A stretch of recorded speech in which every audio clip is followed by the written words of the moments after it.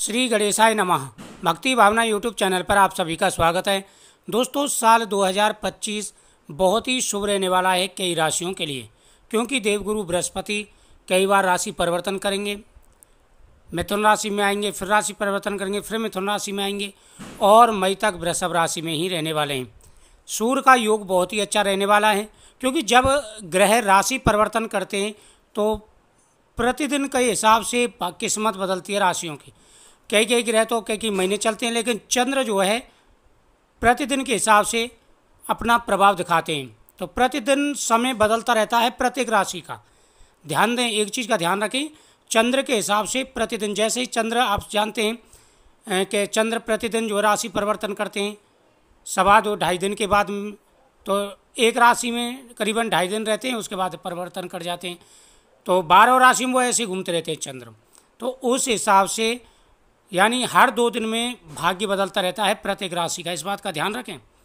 और जो मेन ग्रह हैं, वह काफ़ी महीनों के बाद में राशि परिवर्तन करते हैं। कोई उन्नीस महीने, कोई अठारह महीने, कोई सत्रह महीने, कोई सोलह महीने, सभी उस हिसाब से चलते हैं। तो कभी कभी ग्रहण का जल्दी जल्दी राशि परिवर्तन होता है, हो जाता है, जिसकी वजह से भाग्य बदल जाता है। तो आज मैं आपको जिन राशियों की जानकारी देने जा रहा हूँ, वह राशि भगवान गणेश जी की कृपा से बहुत ही शुभ रहने वाली है। भगवान गणेश उनकी हर मनोकामना पूरी करेंगे। प्रत्येक बुधवार को भगवान गणेश जी की पूजा करना प्रारंभ कर दें।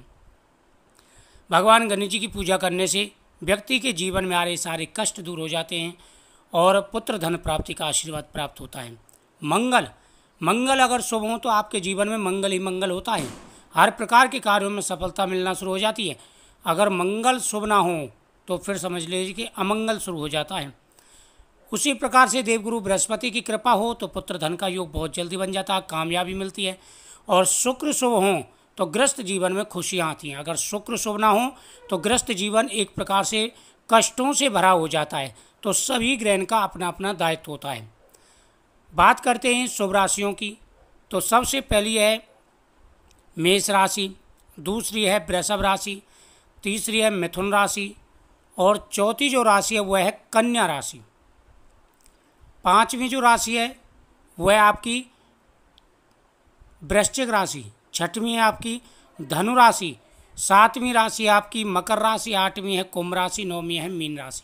ये राशियाँ हैं जो शुरुआत में, साल की शुरुआत में बहुत ज़्यादा शुभ रहने वाली हैं।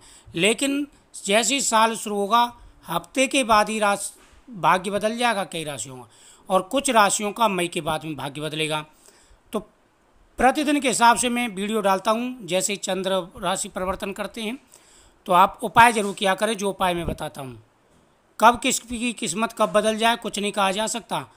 वीडियो को शेयर करें, चैनल को सब्सक्राइब करें।